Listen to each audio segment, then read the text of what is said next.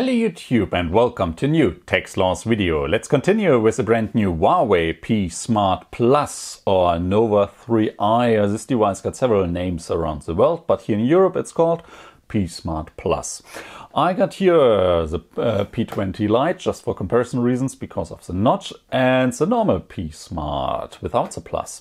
This video will be all about setup and the first impression tour around the device. So we will figure out is there something new in the setup process and then uh, see how much free storage do we got, which apps are pre-installed, what about the fingerprint sensor, the camera, do we already feel the speed performance difference with the new Kirin 710 in comparison to the old Kirin 659. Uh, so we got our nano SIM card, we got the SIM card tray tool. This is my own, there's another one included inside the box. Uh, the SIM card slot is located on the left side. Just push in, slide the slot out, and you will see there's two, uh, two spaces. The right side is a SIM 1 slot, and on the left side you can decide if you want to put in another SIM card or a microSD card for more storage reasons. Then get your SIM card, chip down and the corner uh, down right, slide the tray back into the device and then the on off button is located on the right side of the device. Push it, still push it, keep pushing it. The device will vibrate and you will see the Huawei logo and the powered by Android logo. And I really have to say, yes, you still see the if you get the purple version. Uh, if you look straight to the, on the device, you see to 98% just black. There's no screen protection for on the device. And you see a slight dark bluish frame if you look directly onto the device, but not even close to these colors here. Oh, and now let's see the notch comparison between the P20 Lite and the P Smart Plus. The notch is not double as double as big, but maybe 50% more notch you get on this device. So we see we got 50% of battery. Our SIM card got already a mobile connection. Then we say choose the language. I'd say English, and I'm in Germany right now, so okay, let's get started. I have to agree to the terms and conditions, so terms of use, yes. And in the next step, there's a question if I want to connect to my Wi-Fi, I can skip this and use my mobile data connection, but I select my Wi-Fi and enter my Wi-Fi password. When it's connected, hit next and then sign into your Google account, use your Google email address and your Google email password. And yes, SwiftKey is still installed. And then Google services, you can check these little things individually if you want to use it or if you don't want to use it uh, scroll down and then hit I agree or I don't agree. So then a question about the Google Assistant. Do you want to use this one? I definitely want to use it. I turn it on, give it permission, and now I do, do the voice match. And then the question, can I use it to unlock the device when it's in standby? I say yes. And there's a Huawei ID question. Do I want to use Huawei, Huawei services? Do I want to use Huawei's cloud? Do I want to use uh, Huawei's app store and all this design store and all the things? I say no. I don't really want it. I don't really need it. You can choose by yourself, okay? But you can also log in and register for it uh, later on. But I just say now skip then Huawei is telling me, oh, you're missing out on so many great opportunities here. Um, this is the same thing that uh, Samsung, for example, is saying you exactly the same. But I still say skip and no, I don't want to enable the Huawei cloud. I just hit skip. Yes, I really want to skip it. Whoa, they're getting really needy here. Then the device protection. Yes, I want to set up the Finger ID. Yes, next. So I want to use, enable it. First I choose a normal pin. Ooh, this is now a six pattern pin. But if you hit change unlock method, uh, you get more methods to unlock. Four digit pin, custom pin, pattern or password. I say four digit pin is enough for me. So I say one, two, three, four, five. I then confirm it. One, two, three, four. Hit enter. Locate the fingerprint sensor on the back side. Yes. So I place my finger on it. The device vibrates a little bit and then I follow the instruction here. Place your finger where the where the red dot is telling you to place it. So side, tip, down button. Now tip, tip, and there we go. I don't have the opportunity here to uh, put in another fingerprint, but if I hit left, no, if I go back, no, say face unlock, no, I don't want to use it. So I call this, there was a nice little trick here. Get one step back and then you can register another fingerprint, but no, this won't work anymore. So enhance services, enable it. No, thank you right now. Not user experience program. Thank you. No. Do I want to import my data from another, another Android device, an iPhone, an iPad, the Huawei Cloud Backup or the Google Cloud Backup? I say no because I want to see how much free storage I still got on the device. Set as new uh, device, yes please. And we are ready and we should enter the home screen and woo definitely nice first impression. I like the color the design. We don't got uh, uh, buttons below the display. No we got on-screen buttons. There's no huawei logo here. This lo looks looks like a decent device. Um, then first step i go into settings and find out storage. How much free storage do we le got left? 64 gigabytes and we still got 50.6 so 50 gigabytes. This is a standard value. In my opinion it's a little bit too high especially the firmware taking nearly 10 gigabytes out of it. Uh, other services get 2.8. Um, okay, 50 is standard, but I still think 50 is too high or too low uh, out of a 64 gigabyte device.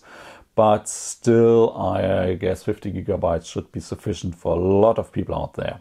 So, which apps are pre-installed? Of course, we got all the Google, uh, the Huawei apps, Phone Manager, Themes, Video, Health, uh, HiCare. We got uh, tools here for the weather, FM radio, flashlight, mirror, compass, phone data things. We got other apps, people who I guess maybe paid for it to be on this device, booking.com, eBay, and Netflix. A couple of games, Asphalt, okay, but keep in mind you can delete them with ease. Facebook, but we also got the Google standard apps. We got the Chrome browser, of course, uh, but also Gmail, YouTube, uh, Maps, Music, Photos, uh, the Office apps. So this is everything that's on the device. Okay, it's, it's, it's standard, let's say that we got could enable the Google Now cards, and I guess this animation is way smoother than on previous devices. This is a nice, neat trick of Huawei here, changing the uh, fade in, fade out animation. So this looks way smoother than uh, previous devices. Okay, this is definitely new. What about our fingerprint sensor? Oh, first of all, of course, I can unlock the device with my fingerprint, but now I also want the device to uh, be able to use the device with my left hand.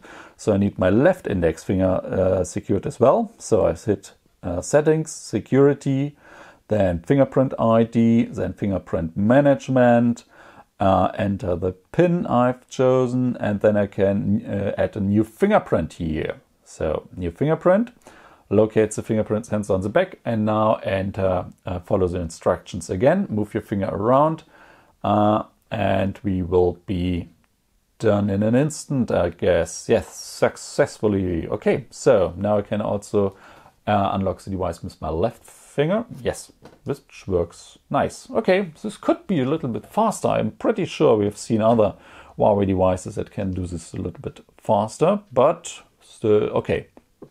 Next step, display.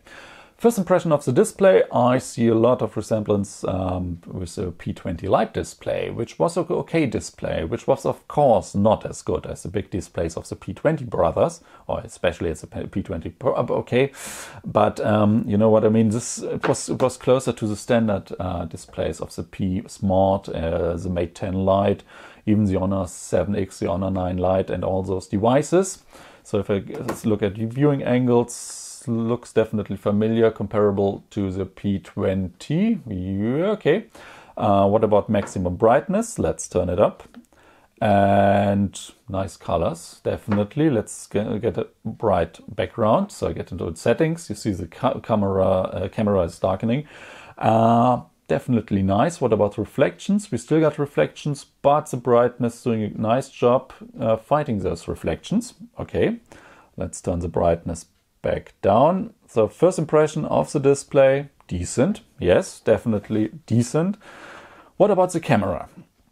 Uh, switch camera modes, GPS takes enabled. Yes, I want to see or I want to know where I took my pictures. And there we go. This is the camera, the standard camera settings with AI enabled. Let's turn AI off, get a normal picture and see, do we notice any difference here? Yes, AI is again putting a lot of colors on, like a filter on the device, on the picture, but you can turn it off and on later. There we go. This is original picture, which now looks like picture I've taken without the AI. And if I enable AI, it's yeah, it's it's giving you more colors here. Mm, okay, but still you got enough options here to play around. We got aperture, we got the portrait mode, we got photo, video, AR lenses if you want to look uh, get some bunny bunny ears. Okay, we got the smooth lens. Of course, as I'm sitting behind the camera, this little no face detected. Of course, now up, down, up, down, left, right, left, right. Uh, um, we know those tricks from from Apple. We know those tricks from Huawei here. So we got this now on uh, from Samsung. Now we got this on Huawei as well. Still, all our camera modes are still there. And if I go to photos, okay, now front-facing camera. First of all, settings. Uh, so we got front-facing resolution for 24 megapixel, and the second camera, the 2 megapixel depth camera. Um, the second camera for the depth informations. So I got, and now I still got the HDR Pro mode. We got AR. Let's see. Oh, where's the beauty mode uh, gone? I don't see a beauty mode anymore. So, but still, let's choose portrait. Okay, B, there was a beauty mode. There, there we go. So portrait beauty level. Turn it off. No, come on. So do you, do you uh, portrait beauty beauty level zero. So let's check this one out. Do it correctly behind the camera. Okay, one without the AI and another one with the AI. So this is, oh man, this is totally out of focus. this, the background is way sharper than the, than the front. This is horrible. This is not even close. Oh man. But okay, let's change to the back side. Let's check photos, settings, 60 megapixel camera on the back side. Okay. Uh, and now we go, are going to take just standard normal pictures. One, what's about the speed here? Okay, speed is okay. Now let's enable, enable AI. Ooh, definitely other colors, but taking pictures fast enough. What about video? So we switch over to video.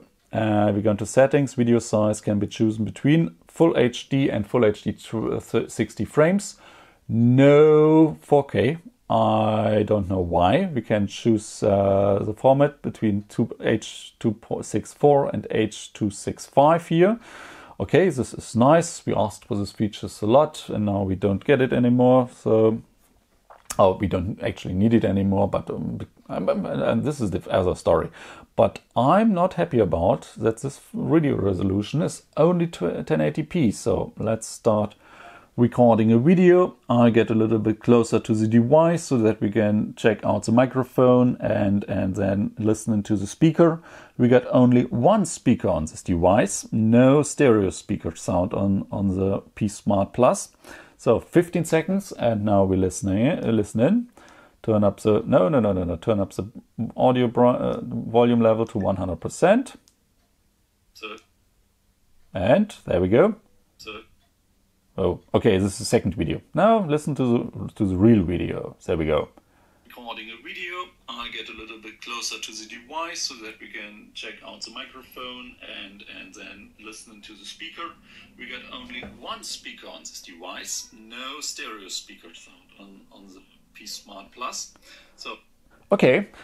Uh, normal audio sound recording quality, I would assume. Speaker quality or microphone quality. We got a little bit background noise. I don't know from the, if it's from the speaker or from the from the microphone doing the recording, but still okay. Video quality, I guess, looked looked okay. Video stabilization, I'm not pretty sure if I see, see any stabilization at all. Um, pretty not wasn't even sure if I could activate this in the settings. Let's get back here, back here into the camera menu, hit settings and lens object tracking, but there is no point here for video stabilization. This is not good. I don't really know what is here. So from the first impression, I would assume don't um, uh, I have to do a lot of testing of course but first impressions here. Don't I don't think that this cameras will be any different than from the standard cameras we have seen at Huawei devices in the first half. Don't get fooled by the megapixel numbers. This is definitely no no no no no. About the performance we have to figure out how much faster the Kirin 710 is okay we still got micro USB. Ah, I don't know why. Okay, I know why. Because Huawei is giving you micro USB on the 300 device so that you buy a USB Type C Huawei device for 400 euros. While you get USB Type C devices from other manufacturers for 200 euros. But we will figure this one out later. Fingerprint scans are a little bit slower than on other devices. Uh, display looks decent and build quality is really nice. And the color and the design, this definitely looks fantastic here. This is something I'm really looking forward to, to show off and to present out there in the real world. But um, overall, I'm not yet convinced about uh, why there's a Huawei P Smart Plus on the market at all. But we will talk about this later. But this is it. Thank you guys for watching and I see you all in the next video. Bye.